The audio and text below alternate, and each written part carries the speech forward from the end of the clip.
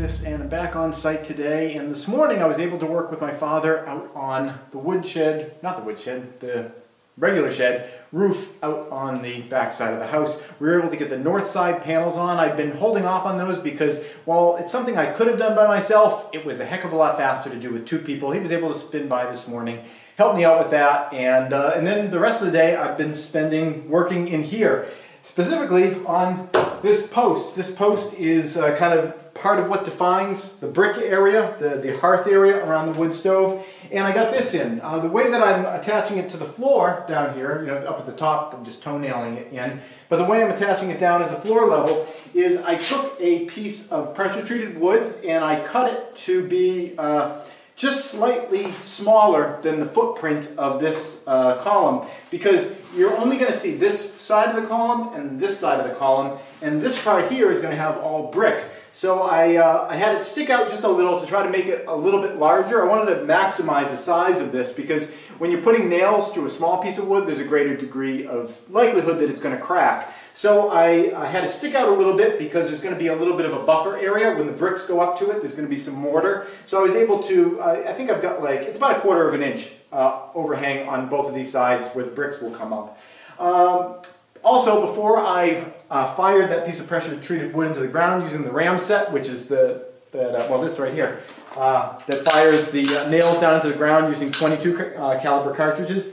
Um, before I put it, uh, the nails through, I pre-drilled some holes in the pressure treated wood in a further attempt to try to keep it from cracking once I fired the, the nails into it. I just drilled a couple of holes that were roughly the size, a little bit smaller than the nails, stuck the nail in, put this on top of the nail, put the charge in, closed it up, gave it a bang, and it worked out pretty well. Uh, I had a couple of uh, different uh, uh charges here. These are level 4 charges, for what, uh, whatever that means, and these are level 3 charges, a little weaker, and I'm starting to run low on four, number 4 charges, so I used the number 3 charges in here because I knew that I'd already cut through the wood, drilled through the wood anyway, and I was able to get the nails in, they stuck out a little bit, but I was able to uh, hammer them the rest of the way down using the, uh, the small sledge, and, and there you go. Uh, there is going to be some electrical work in here. There's going to be a little switch on here that will uh, actuate a light up here. One thing when you're working uh, at a wood stove cooking, a lot of times you're,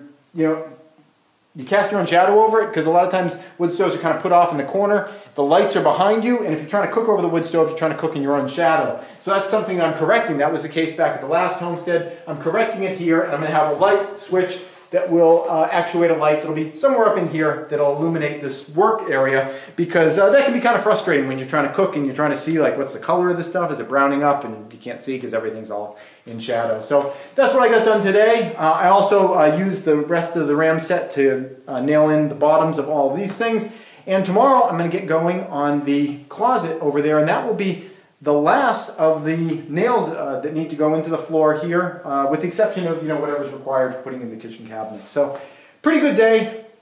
Shed has a roof. We have a post. Getting close on getting this hearth in. That's going to be pretty cool, putting that hearth in. That'll be coming up over the next week, I think. That's it. Thanks for watching.